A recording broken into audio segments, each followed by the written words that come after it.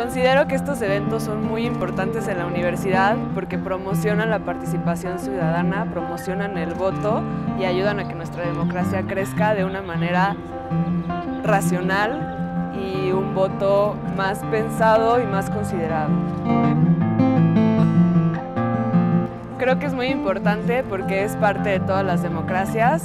El ser democrático no nada más implica el voto, sino otro tipo de obligaciones como la participación ciudadana en el proceso electoral.